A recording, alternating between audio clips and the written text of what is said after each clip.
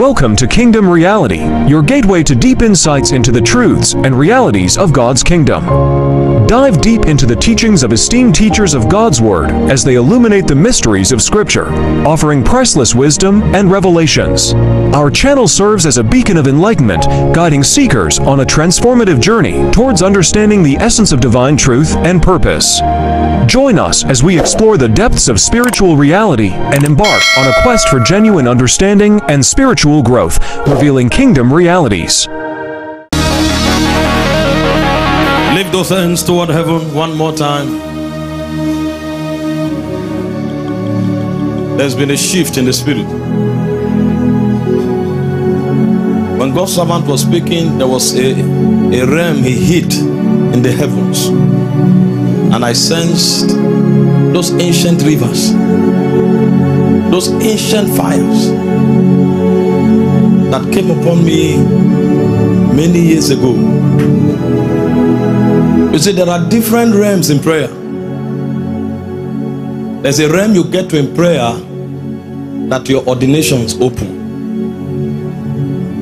Those are heights in the spirit where God makes you what He predetermined in His heart for you to be before the foundations of the world.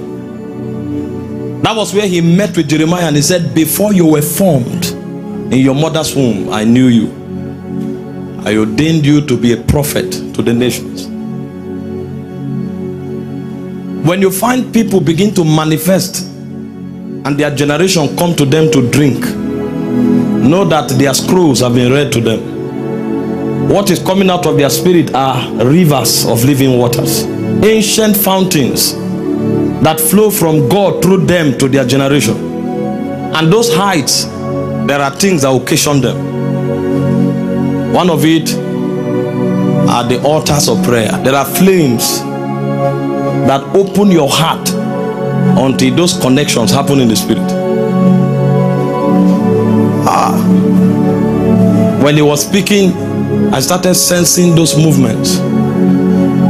Those of you that God will take back to the altar, you will not come out until your horn begins to grow. Hmm. Said, My horn has thou exalted like the horn of the unicorn because you have anointed me with a fresh oil. Every time horns grow, fresh oils are released. And there's a river that is about to begin to flow.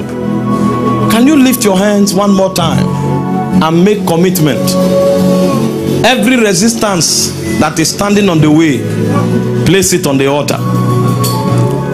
God said a lot of things tonight. You may need to listen to it again to get it. Oh, when he read from Ezra chapter 8, verse 21 to 23, they had boasted in the Lord, but it was time to prove what they claimed. And he said they were ashamed. How can we go back to the king when we have told him our God is able? Some of us, that is where we are. Those, that, those are the places where the journeys began. How can you go back? You have told the, everybody that our God kill it, He make it alive. Now there is a challenge before you, and you need those challenges surmounted. And it looks as if what you said was a lie. How can you go back when you have declared that our God heals? But now there is a crisis, and even doctors have given up. How can you go back? The guy legitimately was ashamed, not because of pride but because of the integrity of his God. I have said this is what our God said. How can we go back? But the Bible said they looked up to him and their faces were radiant and they were not ashamed. Apart from the fact that ordinations will be born, some of you, the things that are confronting your faith and trying to make a mockery of your faith, they are about to go down. This is why God is taking you back to the altar. People are dying, but you say, Our God saves. When the people ask questions, what does the priest do? He goes to bind himself to the altar. This is why this fire is coming. For some of us, ordinations are about to be born, and for some of us, the things that confront and challenge our faith and make it look as if we are just excited fanatics, those things are about to crumble. You are in a nation where God told you He has given you the nation, whereas you are about to be ejected because you don't have papers. It looks as if all you said was a lie. The altar is about to begin to speak. Can we lift those hands one more time? Everything that fights your place on the altar, ask for grace tonight to submit those things. Hmm. Me, I'm about to go on another journey. Because when he was talking, I saw, I saw that a new phase, a new era is about to be born. Oh my God. The old flames are about to be cast away. New witness is about to emerge. The world has not seen anything. A new species, a new generation is about to emerge.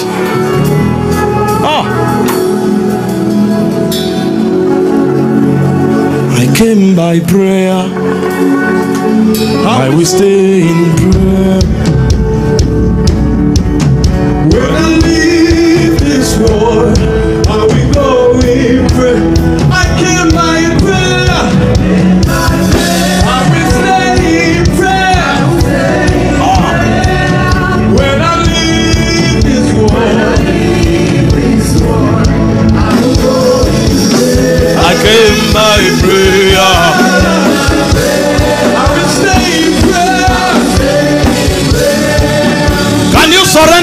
things to the Lord now and allow those rivers to flow? The woman asked a question. She said, How shall these things be? He said, That's not the problem. The Holy Ghost shall come upon you. The power of the highest shall overshadow you. And that which shall be formed in you shall be called the Son of the highest. The Holy Ghost shall come upon you. Every question that confronts your faith, God is about to put them aside.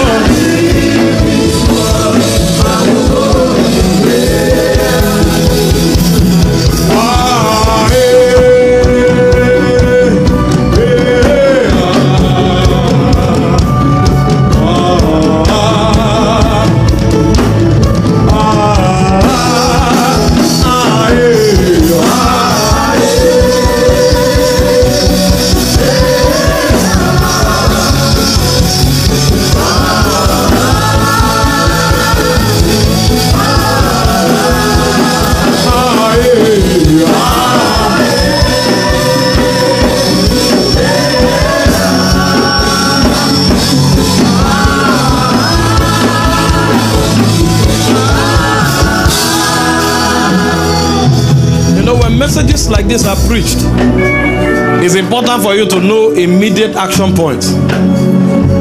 Some of you need to make very quick decisions. Though. For some of you here that don't use your phone, the next is the secret part that you will find with God. And it's my prayer that God will help you. It's my prayer that God will help us. Do you know what? What is, is sounding in my spirit? Ah. Those of you who are sisters, just put your hand on your on your tummy. I'm seeing something like a a fire. These ones are priestesses of the altar. If I go like this, it may not something need to come on you. Those of you who are sisters here, they are praying women that needs to emerge. They are praying women women that hold hands together and give birth to dimensions. I won't force it, I won't hit it so hard, but I saw it. They are praying women. Help those of them. I think about three of them will come under a strong influence. Just bring them to the altar, wherever they are standing. Even those connected online, you are a woman here, there's a fire that is about to be activated in your spirit. You are a woman here. There's something particularly for those of us who are priestesses of the altar. Priestesses. Priestesses of the altar. Priestesses of the altar. Hey! Where are the women that pray? He said women brought their dead back to life.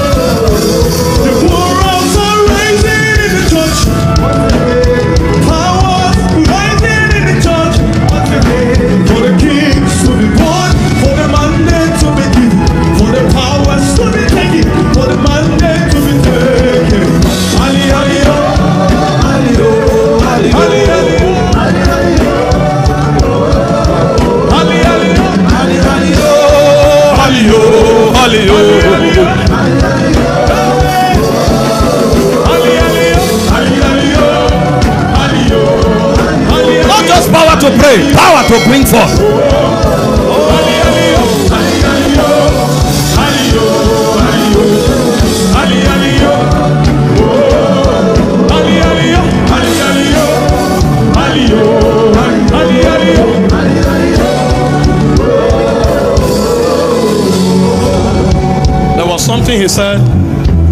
He said, when a woman is at the point of delivery, two things are possible.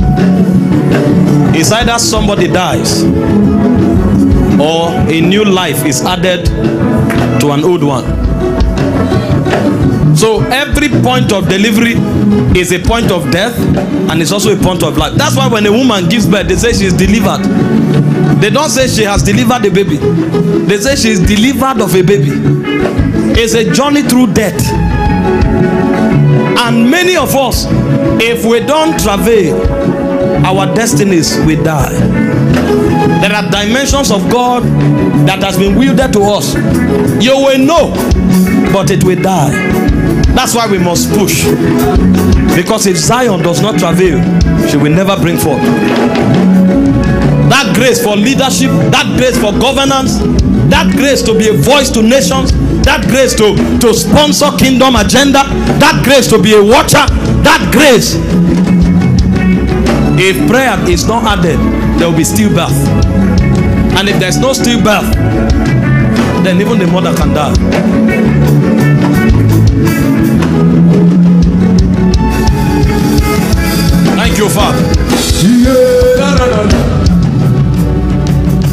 Beyond here. There's a young man here. You have been praying for at least seven years for the nations.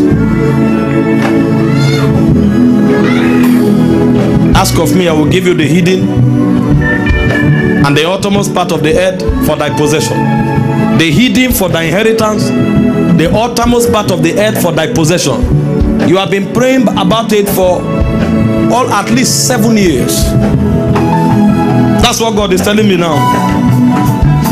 That there's a young man here. He's about to deliver to you what you have been praying for. But see, there's a problem. You have not you have not learned how to build momentum. So you have just been praying and strolling, praying. And the, this prayer you build up until it climaxes, then you explode. He said your problem is that energy to bring forth. When you reach there, you go down. You start again. You reach there, you go down. But there's a grace that is about to come upon you. This one will help you to push. It will help you to push because nations are about to be delivered to you. Father, whoever that one is, help them, please. Whoever that one is that has made demand for nations, for nations, the power over nations, take that power now.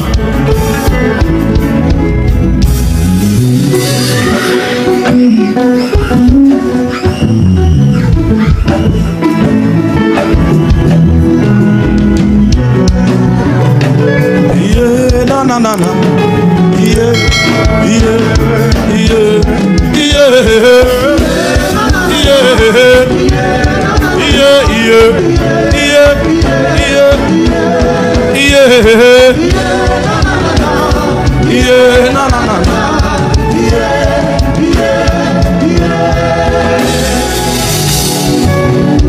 I would have said let's clap, but there is a sober moment.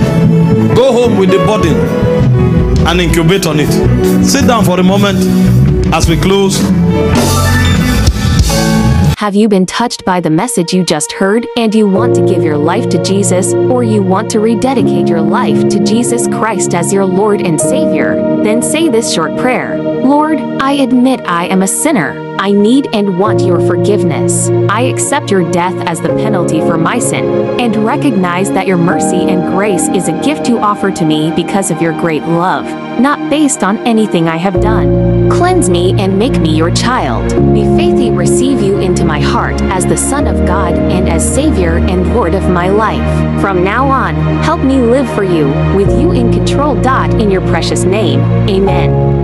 Congratulations to you. If you have just said that prayer, you are now a child of God. Look around you for a Bible believing church and also ask Jesus to direct you to the church where you can continue to serve Him. Consider subscribing to this channel too, so that you'll keep learning the realities of God's kingdom. God bless you.